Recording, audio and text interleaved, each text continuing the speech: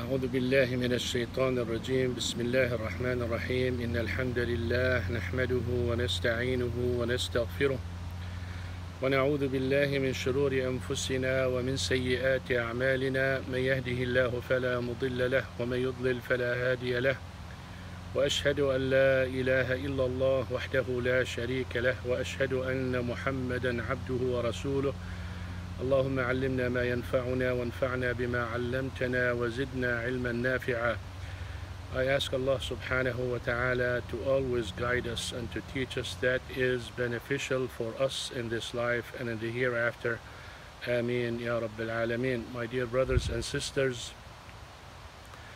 uh, indeed every one of us is looking for a happy life. Indeed every one of us is wishing for the Jannah. Indeed, every one of us is working hard and trying to gain the love of Allah subhanahu wa ta'ala and the guidance of Allah subhanahu wa ta'ala. Indeed, every one of us wants to have a peaceful heart. Indeed, every one of us is working hard to have a happy family and to have a peaceful mind at work and to be protected from the diseases and from the sickness and from the poverty and every bad thing that may inflict the person.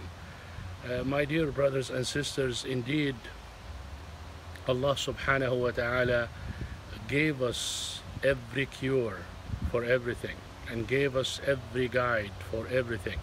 And Allah subhanahu wa ta'ala did not create us and ignore us. He guided us. He gave us the Quran and He sent us the messenger Prophet Muhammad sallallahu alaihi wasallam to show us exactly what Allah subhanahu wa ta'ala wants and what Allah subhanahu wa ta'ala directs us for a happy life. And that is all in there. You just need to pay attention. Listen to this ayah. من عمل صالحا من ذكر أو أنثى وهو مؤمن فلنحيينه حياة طيبة شرطان أساسيان للحياة الطيبة. الحياة الطيبة التي تشمل السعادة وتشمل القناعة وتشمل الأمن وتشمل دخول الجنة هذه الحياة لها شرطان. أولا الإيمان بالله سبحانه وتعالى وثانيا العمل الصالح على نهج النبي وسنة النبي صلى الله عليه وسلم. My dear brothers and sisters, two main conditions for a peaceful life, for a happy life, for contentment, for peace and serenity of the heart, for entering the Jannah and going to Jannah, for everything that you can think about happiness even if you are inflicted with the worst calamities, two things you have to do. Strongly believe in Allah subhanahu wa ta'ala and act upon that belief, act upon that belief with righteous deeds. Amen. Men, Allah subhanahu wa ta'ala called, وَهُوَ مُؤْمِن.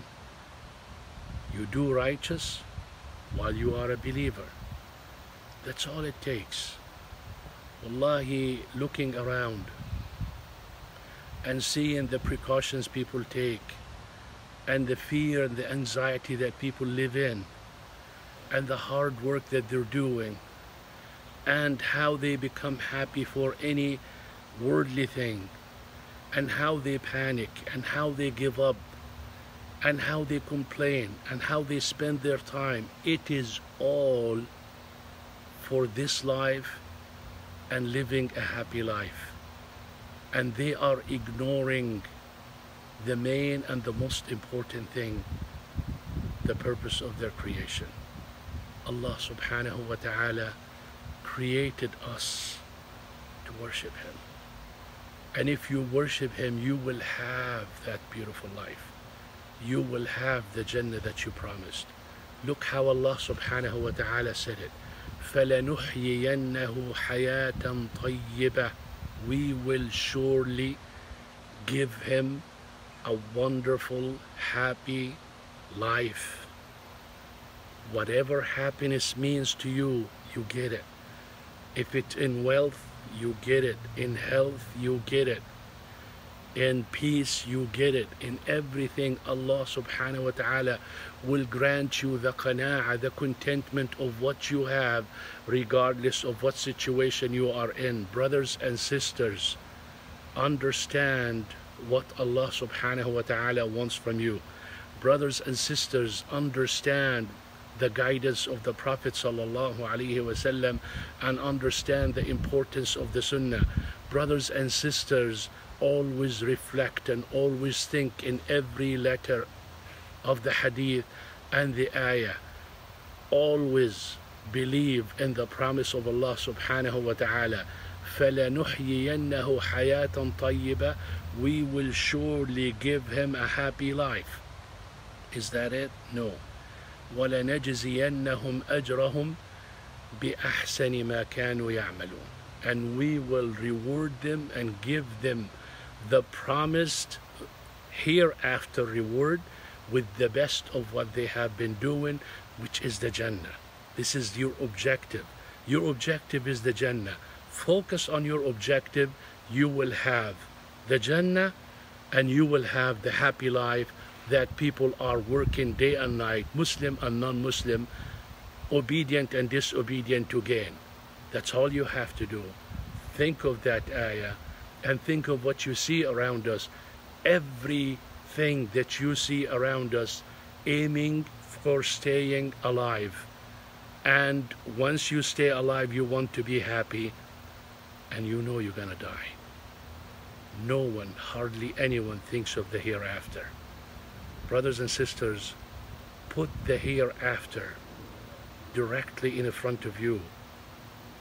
Wallahi, you will live happy here and happy there. Put it behind you. Wallahi, you're gonna be miserable here and more miserable over there.